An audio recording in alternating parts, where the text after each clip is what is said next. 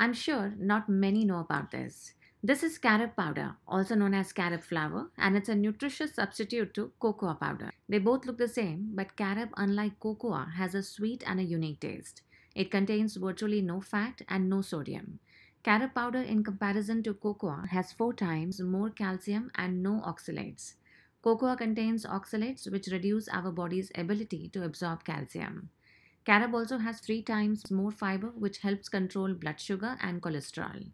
As it contains sugar, it is often used as a natural sweetener in baked goods. It is gluten free, caffeine free, and a good source of antioxidants.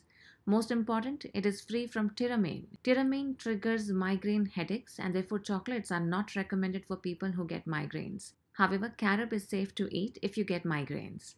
And last but not the least, carob powder doesn't contain high levels of theobromine, a compound found in chocolate, which is beneficial for humans but is toxic to dogs and cats.